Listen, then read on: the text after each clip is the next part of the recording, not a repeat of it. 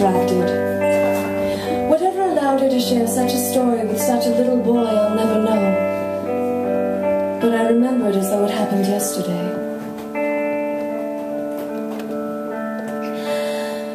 When the earth was still flat and